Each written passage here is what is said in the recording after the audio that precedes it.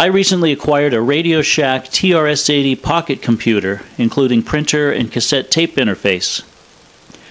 As I thought this was quite an innovative product when it was introduced, I thought I would make a video documenting something about its history, features, and a demonstration of it operating. Fans of retro computing may be interested in this early example of a handheld computer.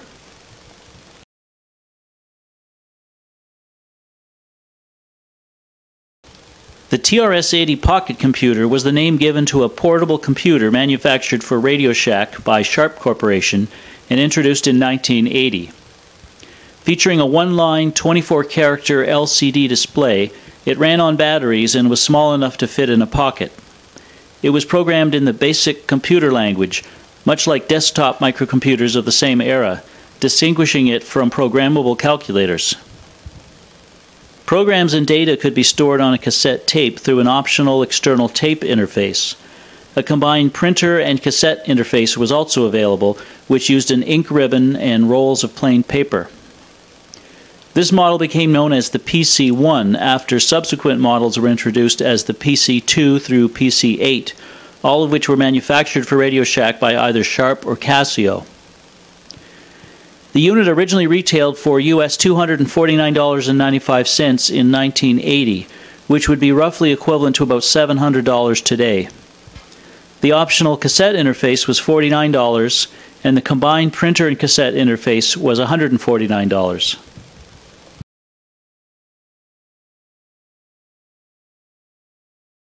The calculator internally has two 4-bit CPUs, one acting as the main CPU and the other managing input-output in the display. It has 1.5 kilobytes of RAM and a basic interpreter in ROM. The display is a 24 character by one line alphanumeric LCD, and it has calculator type keys with QWERTY layout alphanumeric keys. The memory supports basic programs with up to 1,424 steps with 26 variables, named A through Z or A dollars through Z dollars if strings, and another 178 variables shared with program memory. Calculations can display numbers in scientific format with a 10-digit mantissa and 2-digit exponent. Battery life is around 300 hours using four 1.35 volt button cells. The batteries back up the internal memory. It has an integrated beeper and a connector for the optional printer and or cassette tape.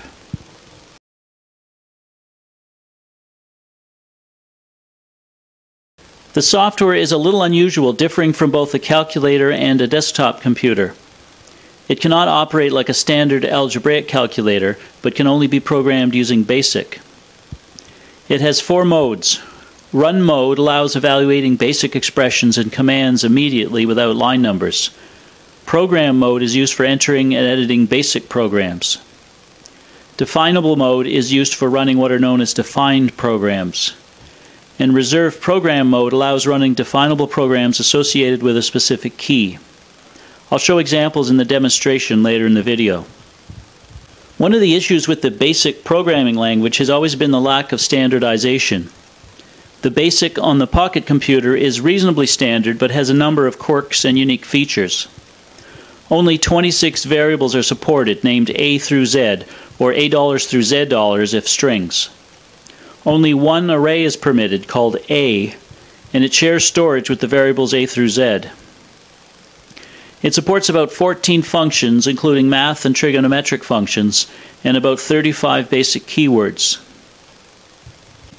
Some quirks include using some symbols like a square root symbol and pi rather than letters like SQRT.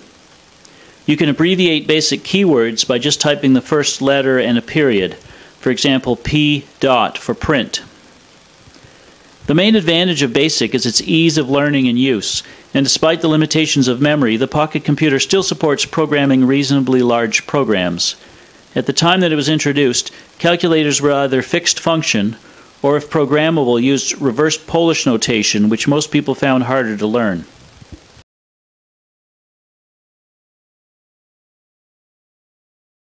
Let's look at some examples of basic operation. The display shows the current mode. You can cycle through the modes with the mode key. It also shows the current mode for trig units, either degrees, radians, or gradians. Manual calculations can be entered in run mode. There's no need to use a line number or even a print statement. The expressions are evaluated and the result displayed. Here are some examples. The sine of 45 degrees.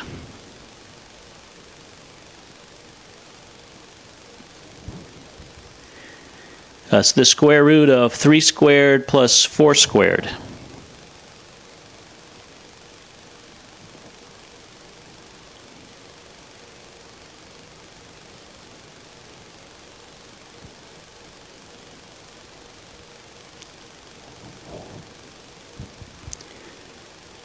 Two times ten to the ninth times pi.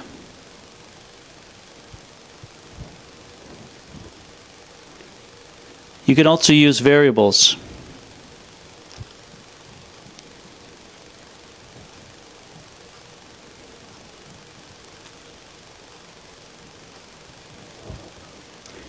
The error messages are not very sophisticated.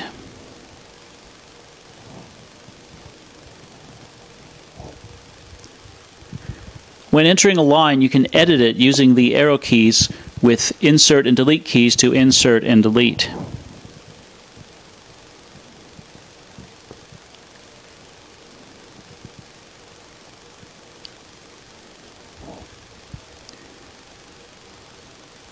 Now let's take a look at entering and running programs in program mode. You put it in program mode and enter basic programs with line numbers. You can display the program with list and use the up and down arrow keys to see program lines and edit them.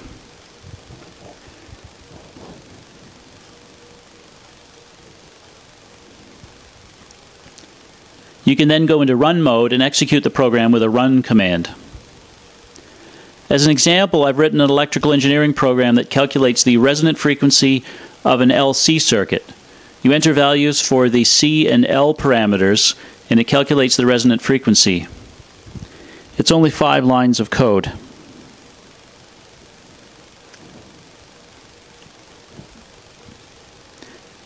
After entering it in program mode, we can go to run mode and type run to execute it.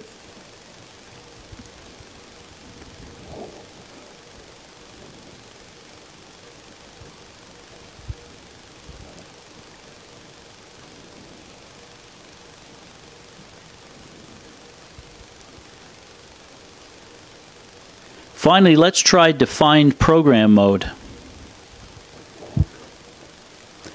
Notice the first line in the program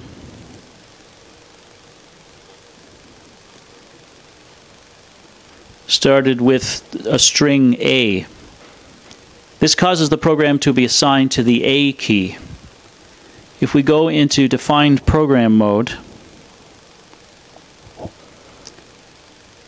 and type Shift A, the program will run.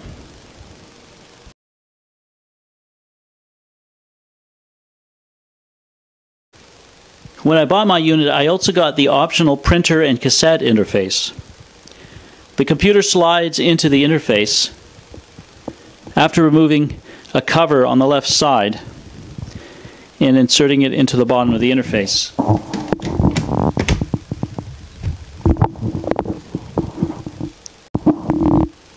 To use the cassette interface, you need to connect it to a portable cassette recorder. A couple of Radio Shack models are recommended, but it should work with most standard recorders. You connect cables from the interface to the mic, earphone, and remote, if present, jacks of the recorder. Then turn on the interface and then the computer. Programs can be saved using the csave command and a file name. They can be loaded back with the cload command. You can also read a program and verify that it matches what's in memory, send the output of print statements to the tape, or chain a program at runtime to another program on tape. I won't actually go through all the steps of saving and loading, but if I just run a save command, you can hear the tones come out of a small speaker in the interface.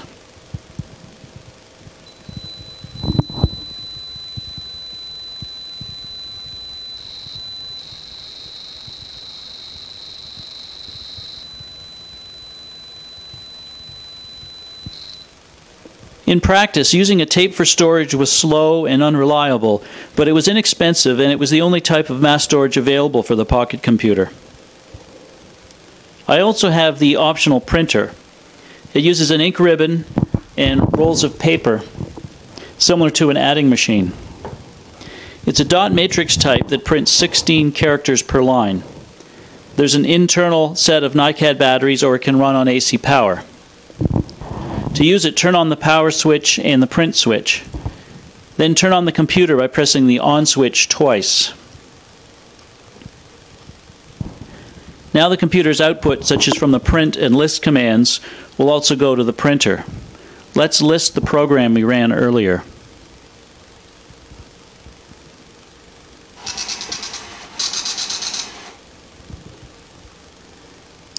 As I'll explain later, this unit's battery is not charging and I tend to get a low battery error before it can finish printing.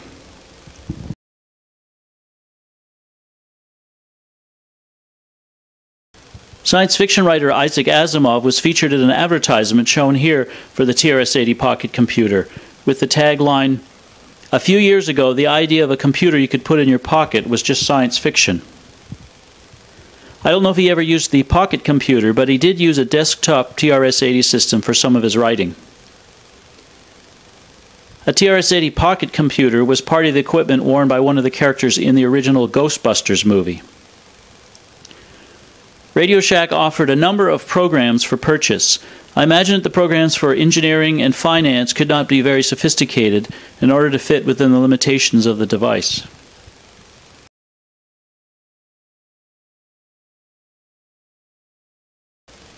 I picked up this unit in February 2014 at a thrift shop.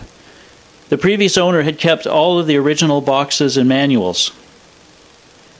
The computer needed new batteries. Fortunately, they're a low cost type available at dollar stores. After that, it worked, although there is some black on the edges of the LCD. This was a common problem with these units. I also got the optional printer and cassette interface. The ink cartridge had dried out. Some research indicated that there are still sources to obtain them. For now, I used an old trick to reactivate ribbons for a while by putting some W40 on it. The internal rechargeable NiCad batteries for the cassette interface also don't seem to hold a charge, which is expected for something of this age. I'll likely replace them with new NiCads or nickel metal hydride batteries.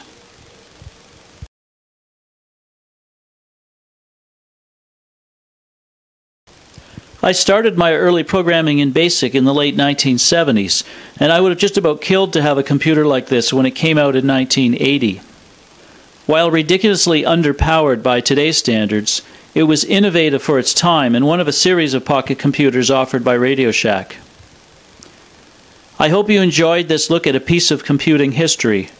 Please check out my other YouTube videos on retro computing and other topics.